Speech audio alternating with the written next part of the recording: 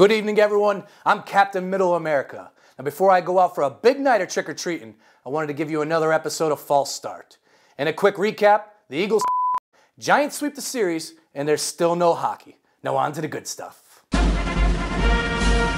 The presidential election is coming up next week, and we polled a few people in the Eagles organization to see who they're voting for on Tuesday.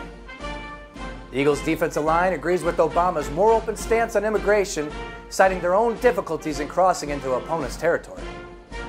We know Vic is married to a woman, but from the way he plays, Vic almost seems to prefer his balls in other men's hands. Footballs, guys. Footballs. Andy Reid and Marty Mornhinweg agree with Romney that evolution does not exist, saying it's ridiculous to think that adapting to change can actually make you better. The rest of the coaching staff is also voting for Romney and his push for the creation of more jobs, considering they might not have them after this season.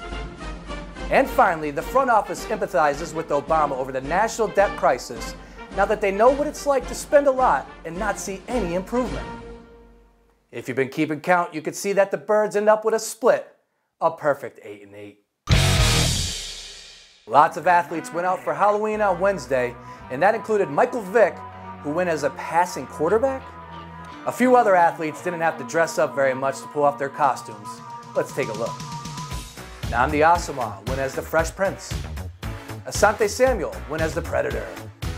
Phil Jackson went as Colonel Sanders. Raul Ibanez went as Jiminy Cricket. Vince Wilfork unintentionally went as Jabba the Hutt. Get him out there. Jim Washburn and Howard Mudd went as the old grumpy Muppets. Sam Cassell went as E.T., Harry Anderson went as you guessed it, Jayson Werth.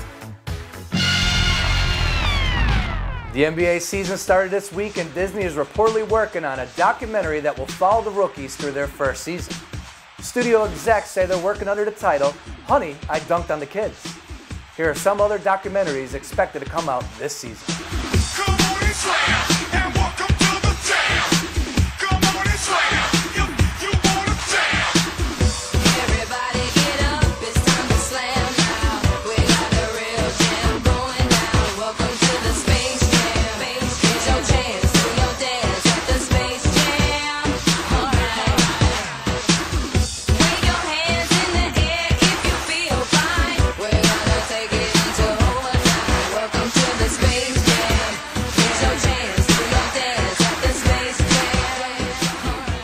Way he plays, Vic almost seems to prefer. Nah.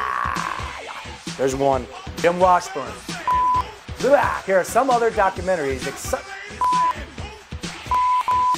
Here it comes.